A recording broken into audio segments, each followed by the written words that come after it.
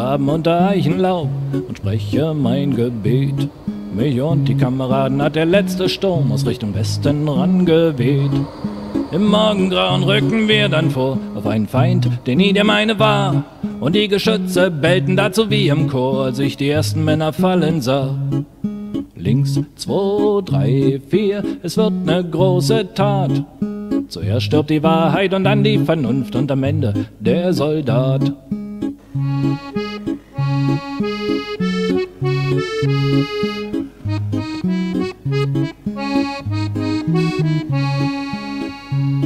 Wenn du den Frieden willst, musst für den Krieg dich rüsten. Wie oft schon hat man das gesagt?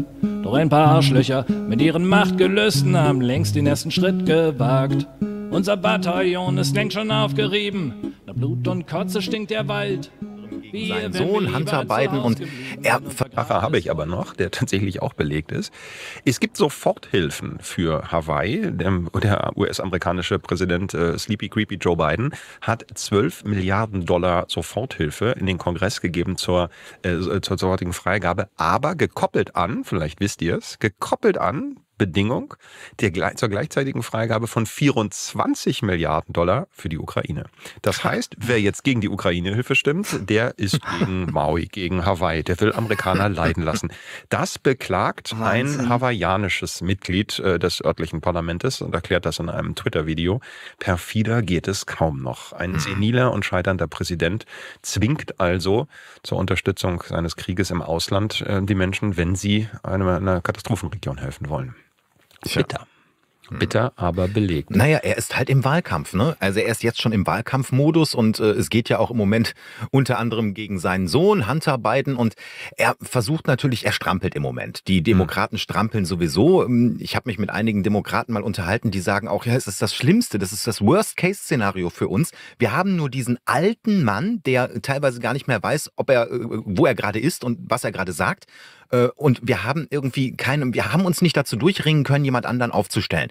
Äh, und auf der anderen Seite hast du halt die Republikaner, die äh, mit dem ganzen Strauß von guten Leuten da auftrumpfen wollen, allen voran natürlich Donald Trump. Und das wird natürlich auch politisch gerade mit mehreren Verfahren versucht zu verhindern. Nein, Entschuldigung, das entfuhr mir so. Ja, ja. Ach was. Dieser Krieg, dieser, dieser Krieg könnte, könnte den beiden natürlich auch noch auf die Füße fallen. Ja, also du sagst es ja, der Wahlkampf hat eigentlich schon begonnen. Der heiße mhm. Wahlkampf beginnt dann 2024 am Anfang. Mhm. Und die Ukraine ist ja kein Erfolgsprojekt äh, für Biden. Ja? Also da sind Milliarden reingepulvert und äh, auch in diese Gegenoffensive, die ja ganz offensichtlich ein Flop ist. Ja? Mhm. Und hm. äh, laut Seymour Hirsch, der Pulitzerpreisträger, hat er hat einen Artikel dazu geschrieben, hat die CIA der Regierung das auch vorher gesagt, dass diese Offensive nicht funktionieren wird. So. Aber ähm, anscheinend war da äh, der, der Glaube stärker als das Wissen. Ich meine mal ganz abgesehen davon, dass die Rüstungsindustrie wieder boomt, sind die Amerikaner gar nicht zufrieden äh, mit mit dieser mit diesem Engagement für Krieg. Die Amerikaner haben ja selber große auch wirtschaftliche Probleme. Also auch der ja. Otto Normal John ja in Amerika und der hat relativ wenig äh, Verständnis dafür, dass jetzt Milliarden über Milliarden dorthin ge geschafft werden. Also irgendwann muss Biden wahrscheinlich noch vor der heißen Phase des Wahlkampfs raus aus dieser Nummer, aus diesem Krieg, ja. Und ähm, jetzt sind wir schon wieder bei, sind wir beim Krieg, ja. Das, das ist möglicherweise auch eine Vorhersage, was dort passiert. Also vielleicht gibt es doch bald Verhandlungen oder erste mhm. Annäherungen. Ich tippe mal auf September. Wir haben ja auch gehört, dass in, es gab ja aus der NATO ähm, ich glaube, es war der Staatschef von Stoltenberg, Jensen hieß der, glaube ich, äh, mhm. äh, aus der NATO den Vorschlag, die Ukraine solle Gebiete an Russland abtreten und dafür dann in die NATO dürfen. Mhm. Ähm, natürlich großer Protest aus Kiew und am nächsten Tag äh, ist die NATO dann auch, der, dieser Jensen ist zurückgerudert, ja, hätte er so nicht sagen sollen.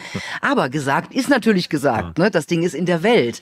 Und ich könnte mir vorstellen, ähm, dass da jetzt langsam so ein Rückzug äh, sich ausgedacht ja. wird. Auch nicht zuletzt, weil Biden im Wahlkampf ist. Ja, lasst uns gerne den Krieg ausführlich ansprechen, aber ich will nochmal zurück zum Wahlkampf, weil die heiße Phase ist aus meiner Sicht voll da.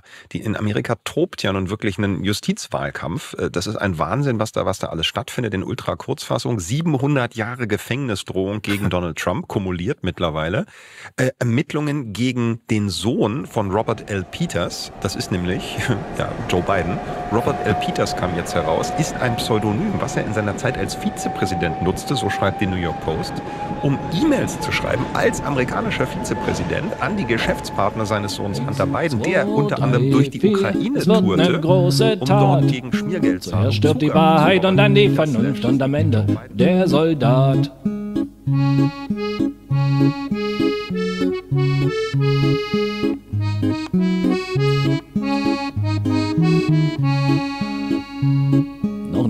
Meinem Leben war ich Pazifist, aber jetzt bin ich verdammt nah dran. Weil der Krieg, den ihr wolltet, gar nicht meiner ist, aber ihr bereichert euch daran. Wie die Schachfiguren schiebt ihr uns hin und her und alle am Hurra geschrien. Und zu Hause bleiben wieder mal die Bäuche leer, denn nach Osten wollen wir ziehen. Links, zwei, drei, vier, es wird ne Heldentat. Zuerst stirbt die Wahrheit und dann die Vernunft und am Ende der Soldat. Und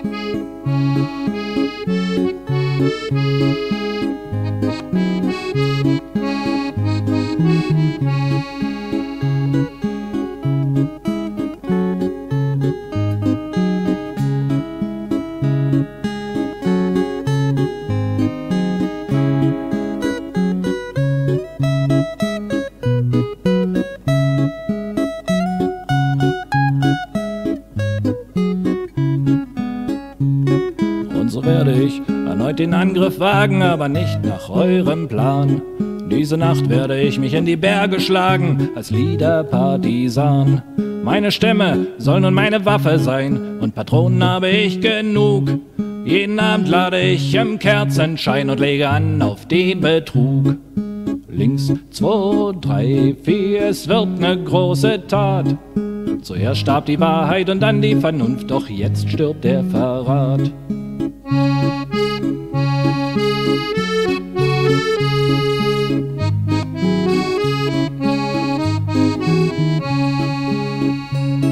wagt es ja nicht, uns nochmal ins Feld zu schicken, wird die Heimat nicht bedroht. Mit euren Seilschaften könnt ihr euch gern selber ficken, denn ich bleib Patriot.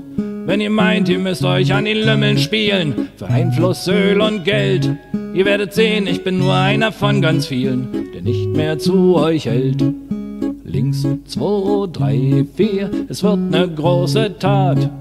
Es lebe die Wahrheit und auch die Vernunft und es lebe der Soldat. Links,